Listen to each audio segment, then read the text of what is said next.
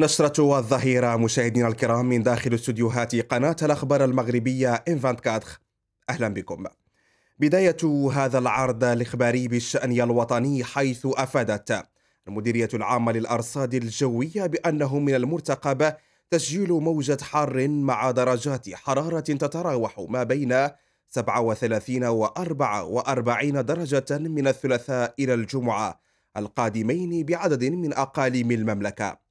المديرية أوضحت في نشرة إنذارية من مستوى يقظة برتقالية أنه يرتقب تسجيل درجات حرارة تتراوح ما بين 37 و 41 درجة يوم الثلاثاء القادم بكل من تارودانت وأكادير وآسفية ومراكش وطاطا.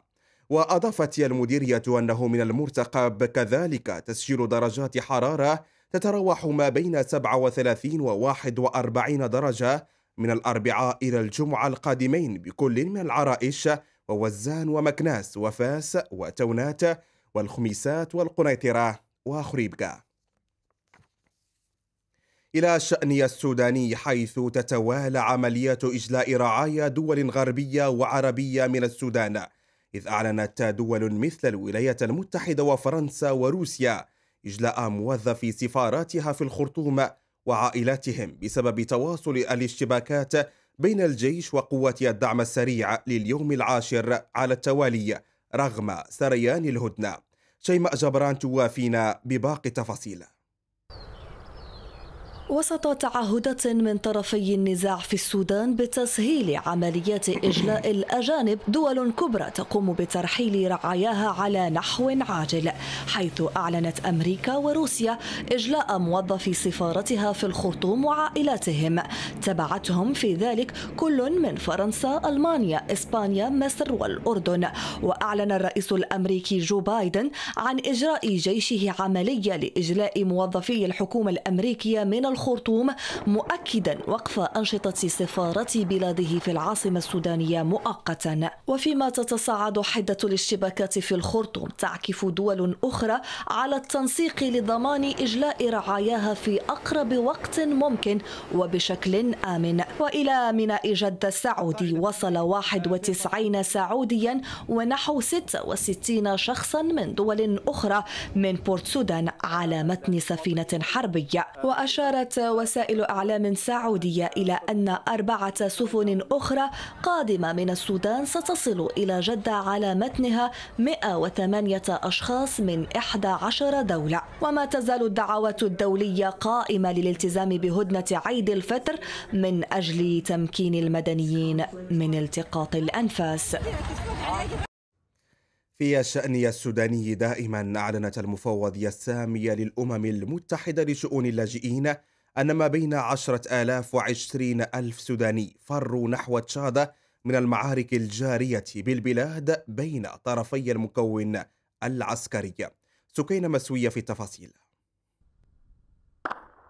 المعارك الدامية في السودان بين الجيش السوداني وقوات الدعم السريع تدخل في يومها العاشر مخلفة مئات القتلى وآلاف الجرحى. وأمام استمرار الاشتباكات ووسط أزيز الرصاص فر ما بين عشرة آلاف وعشرين ألف سوداني نحو تشاد حسب ما أعلنت المفوضية السامية للأمم المتحدة لشؤون اللاجئين. الأطفال والنساء يمثلون غالبية الأشخاص الواصلين إلى تشاد تعمل المفوضية بشكل وثيق مع الحكومة التشادية ومع الشركاء لتقييم احتياجاتهم. وحسب المفوضية فإن المناطق الشرقية من تشاد تضم أكثر من 400 لاجئ سوداني مشيرة إلى أن استضافة القادمين الجدد تضع ضغوطات إضافية على الخدمات والموارد العامة للبلاد. دوليا أعلنت وزارة الخارجية الروسية عن طرد أكثر من عشرين دبلوماسيا ألمانيا من أراضيها. كرد على إجراء مماثل اتخذته برلين في وقت سابق. باقي التفاصيل معك شيماء باكا. تشبثا بمبدأ المعاملة بالمثل الذي تتبناه الخارجية الروسية في تعاملها الغربي. ردت روسيا بسلسلة إجراءات على قرار برلين بطرد جماعي لدبلوماسيين روس من ألمانيا. الرد جاء على لسان المتحدثة باسم وزارة الخارجية الروسية ماريا زخاروفا التي طلبت أكثر من عشرين دبلوماسيا المانيا مغادرة الأراضي الروسية على الفور. وكانت وزارة الخارجية الروسية في وقت سابق نشرت بيانا لها وقالت فيه ندين بشدة تصرفات برلين هذه التي تستمر في تدمير النطاق الكامل للعلاقات الروسية الألمانية بما في ذلك بعدها الدبلوماسي. من جهتها وزارة الخارجية الألمانية قالت إنها أخذت علما بتصريحات زخاروفا مضيفة أن الحكومة الفيدرالية والجانب الروسي كان على اتصال في الأسابيع الأخيرة بشأن قضايا تتعلق بالموظفين في ممثليات كل منهما في الخارج. وفي حريق اندلع في العاصمة الإسبانية مدريد قتل شخصان وجرح عشرة آخرون. داخل مطعم إيطالي بحسب ما أفادت به السلطات الإسبانية. عودة معك شيماء بكا.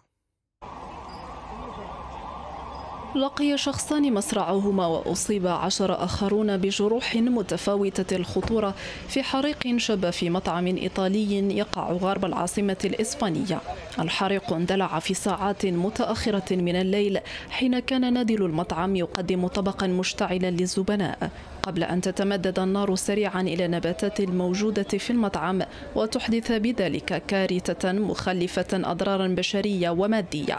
وفور وقوع الحادث تدخل رجال الطوارئ والسلطات الإسبانية على وجه السرعة لإخماد الحريق وإنقاذ الأشخاص العالقين بالمطعم. فيما أفادت وسائل إعلام إسبانية أن أحد ضحايا الحادث هو نادل فيما الشخص الثاني من زبناء المطعم. وفي الأخبار الدولية دائما فعلى الرغم من تراجع معدل التضخم في المملكة المتحدة من 10.1% في شهر مارس المقبل ب 10.4% من فبراير الماضي إلا أن الارتفاع في أسعار المواد الغذائية الأساسية بات يقلق البريطانيين. لنتابع. ارتفاع في أسعار المواد الغذائية الأساسية بات يثقل ويقلق كاهل المواطنين البريطانيين سواء منهم ذوي الدخل المنخفض أو المحدود. ارتفاع بوتيرة لم تشهدها البلاد منذ سنين. دفعت بالعديد من البريطانيين إلى الاستغناء على شراء بعض حاجياتهم الأساسية. ورغم نشر مكتب الإحصاءات الوطنية لبيانات مفادها أن معدل تضخم أسعار المستهلكين في المملكة المتحدة انخفض إلى 10 10.1% في مارس الجاري مقابل 10.4% من فبراير الماضي إلا أن المعدل يبقى أعلى بكثير من المعايير المعتادة للبلاد.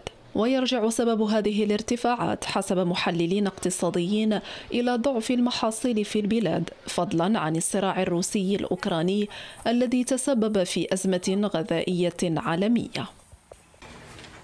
بينما يجد السكان طرقا للتعامل مع الحرارة الشديدة في تايلاند خلال الأسابيع القليلة الماضية سجلت البلاد أعلى معدلاتها على الإطلاق بلغ 44 درجة مئوية. شيماء بكة تواجه تايلاند ارتفاعا غير مسبوق في درجات الحرارة حيث سجلت البلاد أعلى درجاتها منذ ما يقرب من 60 عاما. بلغت 44 درجة مئوية بحسب وسائل إعلام محلية. هذا وحذرت إدارة الأرصاد الجوية التايلاندية سكان البلاد من الوقاية وتجنب التعرض للأشعة الشمسية التي قد تؤثر سلبا على الصحة. كما تتوقع من استمرار درجات الحرارة خلال الأيام المقبلة. ويرجع ارتفاع درجات الحرارة هذه إلى المستويات الحمراء بسبب ظاهرة الاحتباس الحراري التي تؤدي إلى تفاقم الأحوال الجوية. إلى الأرجنتين حيث بات الزليج المغربي يسوق على أعلى مستوى في الخارج.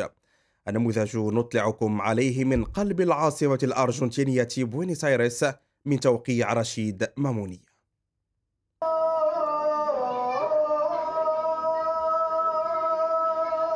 أينما وليت وجهك في هذا المسجد الزاوية المتواجد في قلب العاصمة الأرجنتينية بوينوس آيرس فثمة ما يشد انتباهك بالتأكيد.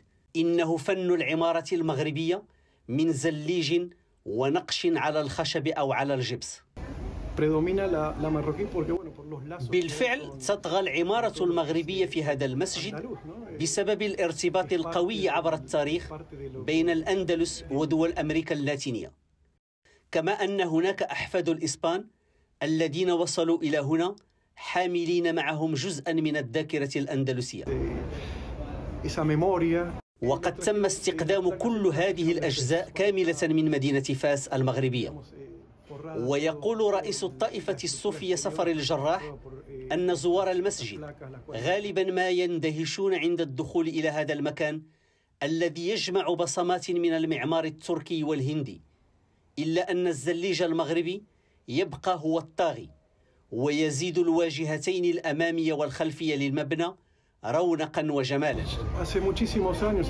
ومنذ أكثر من 30 سنة جاء شيوخ الطريق إلى الأرجنتين حاملين معهم رسالة التوحيد.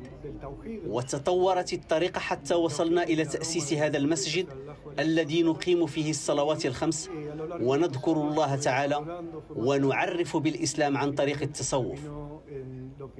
هذا وقد تم تجميع القطع الستة وثلاثين ألف التي تزين المسجد من قبل 46 حرفيا من مدينة فاس قبل أن يتم نقلها وتركيبها في هذا المسجد الأيقونة المكون من ثلاثة طوابق بمساحة 700 متر مربع يعلوها برج مكسو بالزليج المغربي.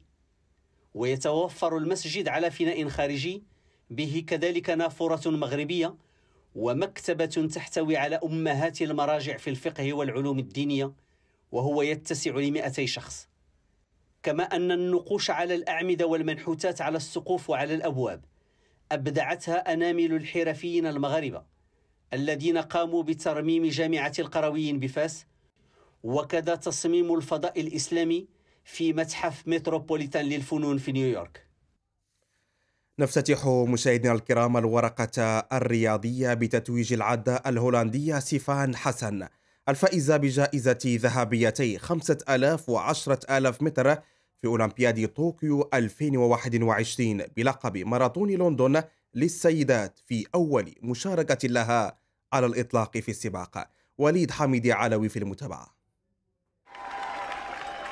ظفرت العداءة الهولندية سفيان حسن حائزة ذهبيتي خمسة آلاف وعشرة آلاف متر في أولمبياد طوكيو 2020 بماراثون لندن للسيدات. في أول مشاركة لها على الإطلاق في السباق البالغة مسافته 42 كيلومترا. وبالنسبة للرجال فاز العداء الكيني كيلفين كيبتوم بالسباق محققا ثاني أسرع وقت في التاريخ بزمن ساعتين ودقيقة واحدة وسبع وعشرين ثانية بفارق 18 ثانية عن الرقم القياسي العالمي لمواطنه إليود كيبشوغ. وقبيل ذلك انسحبت حاملة الرقم القياسي العالمي الكينية بريجيد كوسجي من الماراثون بعد أقل من أربعة دقائق على انطلاقه بسبب الإصابة. وكانت حاملة لقب ماراثون شيكاغو مرتين والرقم العالمي للسيدات في ماراثون مشترك بين الجنسين قد عانت من إصابة عضلية لكنها أكدت أن تلك الإصابة ليست سيئة بشكل كبير. أما بملاعب الكرة الصفراء فنجح الإسباني كارلوس ألكاراز في التفوق على اليوناني ستيفانوس تسيتيباس. المباراة النهائية لدورة برشلونة الإسبانية الدولية للتنس. ليحتفظ الكراز بلقب المنافسة. لنتابع ورقة شيماء بكة الإسباني كارلوس الكراز يحتفظ بلقب برشلونة الدولية لكرة المضرب. لقب انتزعه الإسباني عن جدارة واستحقاق بعد فوزه بنتيجة 6-3 و6-4 على اليوناني ستيفانوس في المباراة النهائية التي جمعتهما. هو فوز رابع لنجم التنس الإسباني الشاب ذو التاسعة عشر ربيعا. واجه بعض الصعوبات في بداية المجموعة الأولى وخسر إرساله في أشواطها الأولى. لكنه رد بسرعة فرضا التعادل لتحسم المقابلة لصالحه. أما في المجموعة الثانية نجح الكراز في كسر إرسال اليوناني وحافظ على تقدمه حتى آخر دقيقة من عمر المباراة التي دامت 79 دقيقة.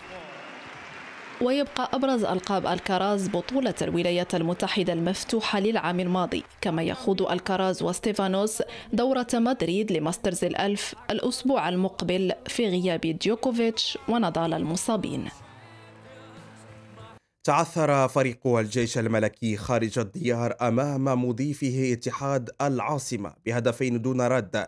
في المباراة التي جمعت بينهما بملعب الخامس يوليوز برسم ربع النهائي لكأس الكونفدرالية الأفريقية لكرة القدم وحملت أهداف اتحاد العاصمة توقيع اللاعبين سعد الرضواني وزين الدين بالعيد. هذا وتلعب مباراة الإياب على أرضية المجمع الرياضي الأمير مولاي عبد الله بالرباط في ثلاثين من هذا الشهر. وكان فريق الجيش الملكي قد تأهل للدور ربع النهائي لكأس الكونفدرالية الإفريقية بعدما تصدر ترتيب المجموعة الثالثة برصيد 11 نقطة متفوقا بفارق المواجهات المباشرة على الوصيف بيراميدز المصري الذي احتل المركز الثاني في المجموعة بنفس الرصيد من النقاط. وبهذا نكون قد وصلنا إلى نهاية النشرة مشاهدينا الكرام نشكركم على حسن وطيب المتابعة. أطيب المنى.